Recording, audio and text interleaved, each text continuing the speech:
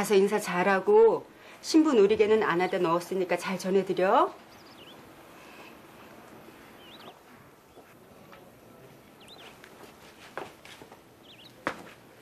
잘 다녀와.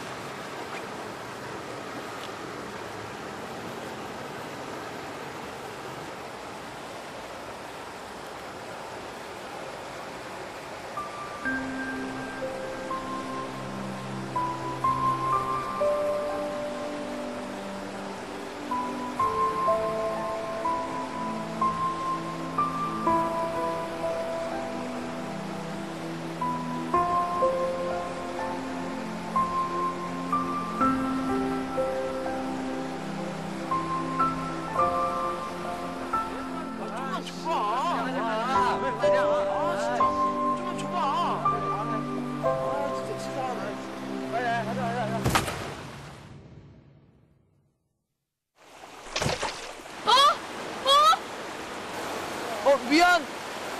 어? 한복.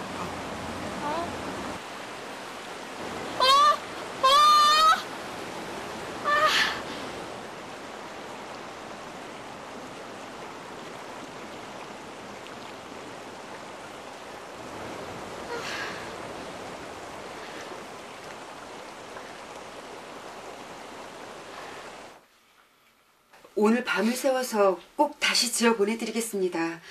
걱정 마세요. 네, 더 좋게 지어 보내드리겠습니다. 네, 네, 죄송합니다. 네.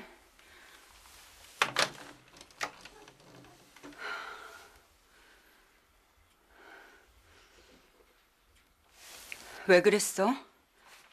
한 번도 이런 적 없었잖아. 네 선생님 결혼 한 복인데 어떻게 이럴 수가 있어? 왜 다시 만든다 그랬어? 뭐? 한복감도 없는데 왜 만든다 그랬어? 만들지 마! 엄마가 한복 안 만들면 선생님 결혼 못하니까 만들지 마!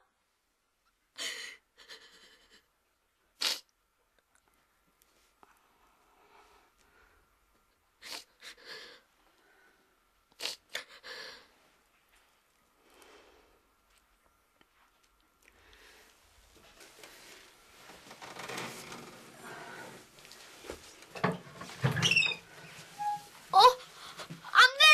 그건 아빠가 주신 거잖아! 그건 엄마 거잖아!